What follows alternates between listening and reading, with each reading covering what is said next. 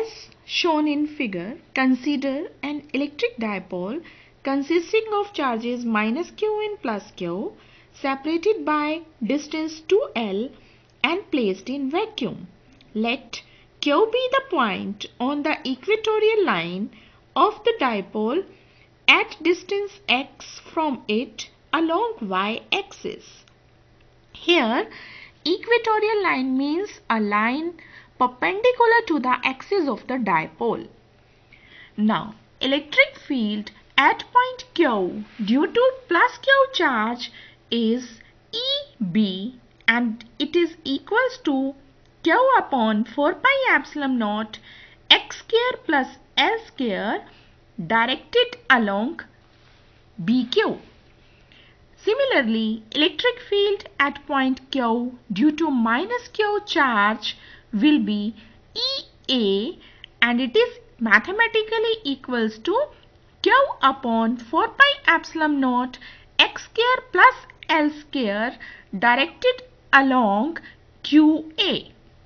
You can see that the magnitude of both EA and EB are same and shown in the second diagram the components of EA normal to the dipole axis will cancel out each other and the parallel components will add up and therefore the total electric field EQ will be in the opposite direction to that of the dipole moment that means it will be along B to A and the value of EQ will be EA cos theta plus EB cos theta.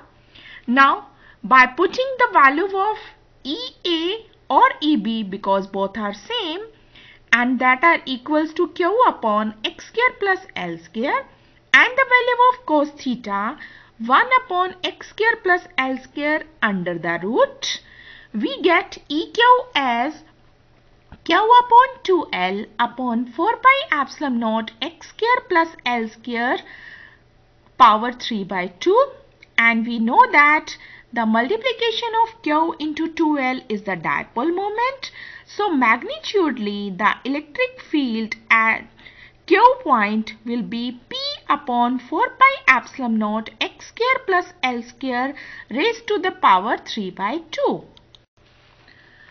And if we consider the direction, then you can see that the dipole moment direction is from negative to positive charge, but the electric field here we got in opposite to that of the dipole moment. So, EQ vector will be P upon 4 pi epsilon naught x square plus L square raised to the power 3 by 2 with minus i cap or you can directly write p vector with the negative sign.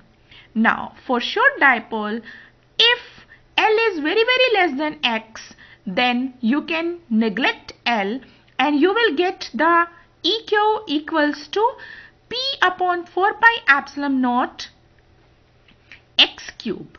But to differentiate it from the axial line, let us consider it as y. So you got EQ nearly equals to P upon 4 pi epsilon naught y cube. Right?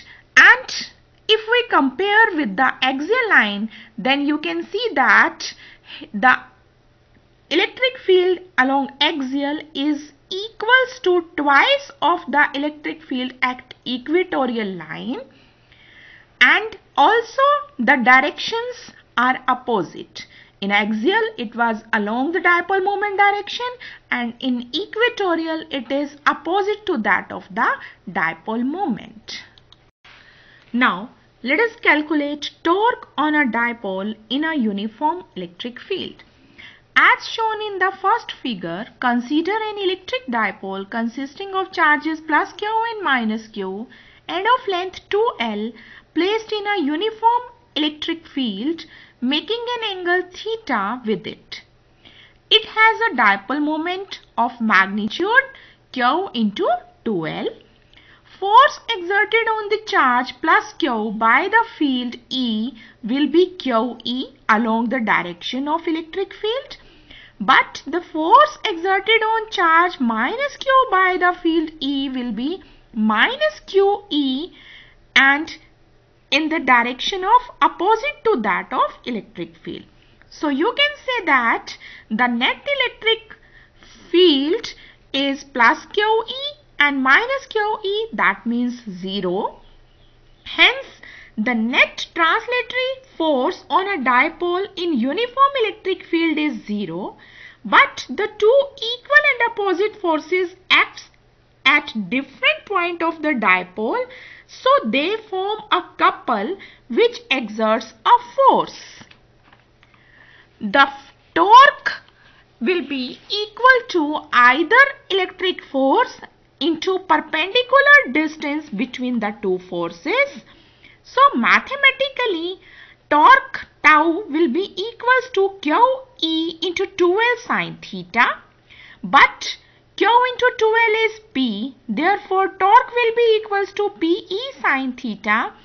And in the terms of vectors, you can say that the torque is the cross product of dipole moment and electric field. And the direction of torque is perpendicular and into the plane containing P vector and E vector as shown in second diagram. And it is given by right-handed screw rule or thumb rule. Now from the formula the torque is P E sine theta. So the SI unit will be Newton meter. And by the formula if theta is 0 that means P and E are in the same direction then the value of torque will be 0 it will be maximum when angle will be 90 degree and it will be P into E and if the angle between them is 180 degree then the value of torque will be 0. Now let us calculate the work done on an electric dipole in uniform electric field. In the last slide we have calculated that when an electric dipole is placed in a uniform electric field it experiences torque and tends to align in such a way to attain stable equilibrium.